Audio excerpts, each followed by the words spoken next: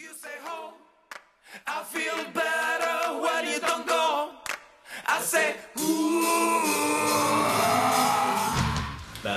il y en a plein. Le côté un peu nanar, peut-être Il y en a qui, ouais, qui pensent que c'est, sans l'avoir vu, qui pensent que c'est un nanar, effectivement. Voilà, on nous dit c'est un Euh, film, c'est genre les Charlots font du rock, ou... euh, Ouais, voilà, c'est sans l'avoir vu, par exemple. Donc après, il y en a pour certains, ils tombent un petit peu, euh, un peu dénus. Il y a aussi la question pour, pourquoi avoir pris Julien Doré dans, dans, dans- dans le film.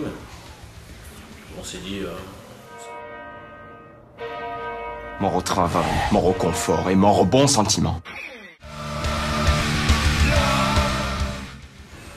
Bon, c'est un peu la, c'est un peu la fin là. Le film, il est, le film, il est sorti, donc il vit sa, il vit sa vie comme un grand maintenant. euh, euh, mais c'est super de faire cette journée avec Steve, euh, voilà, de pouvoir, euh, de pouvoir, de pouvoir faire croiser la nos promo points de ensemble vue. et tout. Ouais, c'est ouais, Ben, la première fois qu'on se retrouve en plus à Ouais. faire des, des interviews ensemble. Elle est plutôt simple, on va dire. bah, déjà, un- il est musicien et puis aussi comédien, donc euh, les deux en fait euh, fonctionnaient plutôt pas mal. Moi, j'ai envie de dire, je pense qu'il y, y avait aussi pour ça. Moi, je suis Oui, pas au courant le- de tout, mais euh, le personnage d'Alex, euh, il a, c'est un personnage un peu complexe parce qu'il il fa- il fallait à la fois qu'il soit manipulateur, il passe quand même tout le film à essayer de, retourner la tête de, de ses potes, et en même temps qu'on sente une certaine fragilité pour qu'il soit attachant.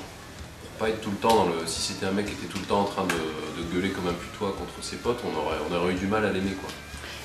Et c'est ça que j'ai aimé beaucoup dans ce qu'a amené euh, Julien. Euh, il a joué à fond ce côté manipulateur, mais il a amené cette, euh, cette fragilité, ce truc un peu sur le fil, qui était écrit un petit peu, mais, mais c'est quelque chose qu'il a vachement renforcé avec sa personnalité, avec sa façon de- d'aborder le personnage. Oui, c'est ça, comme des vampires. À l'heure qu'il est, même s'ils ont roulé à 60, les vampires pourraient se trouver au Portugal. C'est pas faux.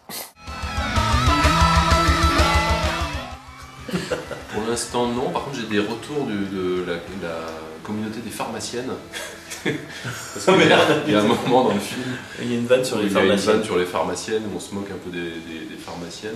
Et du coup, j'ai plein de pharmaciennes.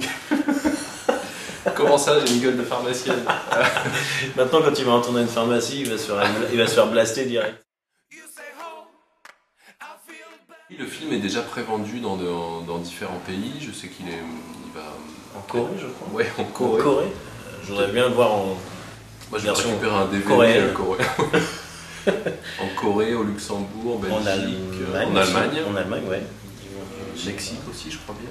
Ouais, apparemment, ça va aussi en en Amérique latine et tout ça. Ouais, ça, ouais, ouais, le, le film est en train de s'exporter, ouais. Voilà.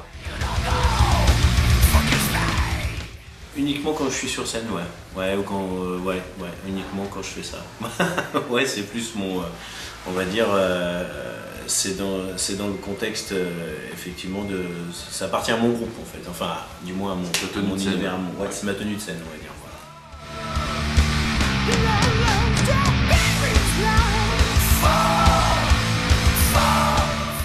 Les idées qu'on avait aussi là-dessus, ça c'est Ah, aurait- clair. aurait été on voulait faire des clips, on voulait faire euh, tout ça, mais effectivement ça représente un peu de budget quand même, donc, euh, donc voilà. Et, euh, puis, Ouais, Gaumont- puis ça, Gaumont, ça ils ont né- pas beaucoup ça d'argent. quoi. nécessiterait de monter un vrai groupe. Je sais, Spinal Tap par exemple, pour prendre un exemple historique, Spinal Tap, le groupe s'est vraiment constitué après le film Ouais. et a fait une vraie tournée, des albums, etc. Mais parce que c'était des vrais musiciens aussi, quoi. Ouais, ouais. Ouais, voilà que là c'est plutôt des, des comédiens.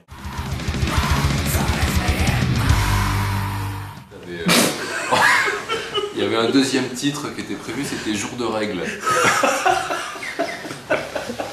Je sais pas ce qu'il C'était la phase. B, c'était la phase B de descente d'organes, mais on l'a jamais enregistré.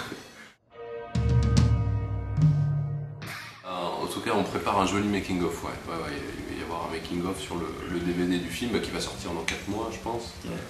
Il y aura un joli, il y a un joli making-of. euh, Il y a des trucs incroyables. ouais, Mais- ouais. Il y a un truc qui n'est pas prévu dans le film, mais- enfin qui est dans le film mais qui n'était Ah pas oui. prévu. Euh, C'est quand ils sont sur la scène du Star Club, euh, donc la, la boîte de, de danseuses de revue là. Voilà, ouais. À la fin, euh, donc le, le patron de la boîte coupe le son, etc. Puis ils sortent tous de scène et Julien, en fait, son pied se coince dans un fil de micro. Ouais. Et donc du coup, ça traîne son pied de micro. en Pied de micro de- fait un truc comme ça. C'est un pied de micro avec des ossements euh, collés dessus. Donc on voit, je sais pas si vous. Ça, on le voit, on le voit qui part comme On ça, au moment part. pour sortir de, de- de- ça. C'était un côté, il y a un côté fun parce que c'était pas prévu. pas du rock satanique, c'est du black metal. Le Hellfest Ils m'ont appelé, ils nous veulent. Non mais attends, d'où, d'où, d'où- que- comment Il y a eu un désistement, mais on s'en branle. On n'est pas prêt pour un truc aussi gros. Ah, on les remercie déjà beaucoup parce qu'ils nous ont permis de faire ce truc qui est assez, euh, assez unique euh, dans, dans- dans- dans le cinéma. On est tous invités, on a reçu un mail de Ben Barbeau qui invite, euh, Qui adorait le film. qui a beaucoup aimé le film, je crois, hein, on l'a dit, Ouais, et qui, nous invite tous au Hellfest, donc c'est c'est super, donc on va essayer d'y aller. euh. On trouve une solution pour se barrer d'ici, discrètement. Sur esprit les attachés 4, habillé en noir, en rocker. Allez voir ce putain de film, bordel de merde, putain. Allez voir ce Et c'est pas qu'une question de pognon Ça, c'est le producteur qui disait ça, voilà. voilà, mais allez voir le film, ouais. Je pense que vous serez assez surpris, en tout cas, de, ça. Ouais, pour 9 euros, je sais plus combien c'est là, entre 6 et 9 euros, là. Je sais pas, moi, j'ai pas payé. Franchement, vous, vous, vous en aurez pour votre argent, vous pas payé. Alexandre